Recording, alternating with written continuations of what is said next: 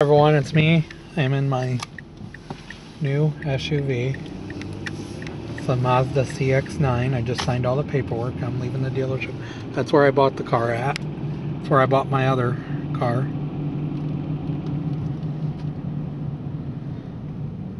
Signed all the paperwork. It took a little while. Yeah, now we're on our way home.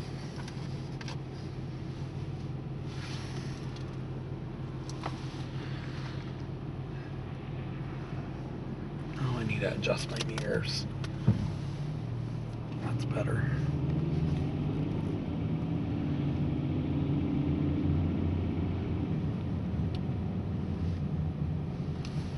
This is my new SUV. It's a Mazda CX-9. I like the inside of it. I am gonna close this, with sunroof cover. Oh, it looks like it has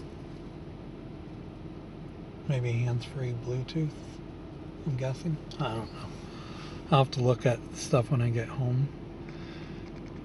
It rides and drives really nice. I'll need to get gas though, because it's got almost a half tank. I should have enough gas to get home.